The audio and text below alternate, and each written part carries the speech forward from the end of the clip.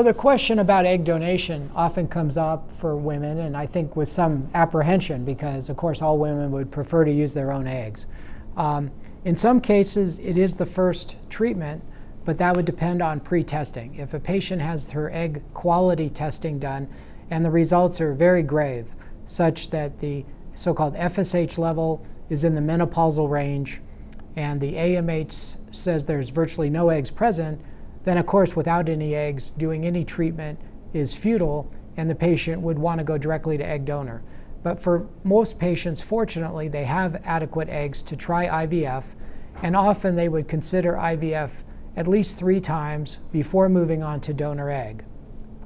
Again, an exception would be if they did one IVF cycle and their egg quality and their embryo quality was extremely poor, they might conclude from that cycle that spending more money on IVF was, was ill advised and, and donor egg is the next step. But in general, three cycles of IVF would be uh, considered before donor egg. When patients look at the option of egg donor, they have really three avenues to obtain a donor. One would be actually a known donor, like a relative or a friend, and some patients have that in their life, even a sister.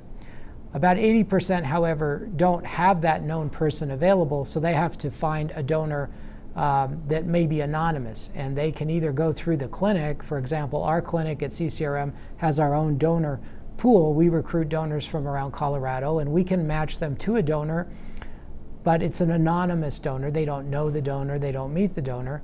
Or they could choose to go through an outside agency which is a firm that just helps recruit donors and match them to couples, but they don't practice medicine, so the donor then has to come to a clinic, an IVF center, to be uh, stimulated and have her eggs retrieved.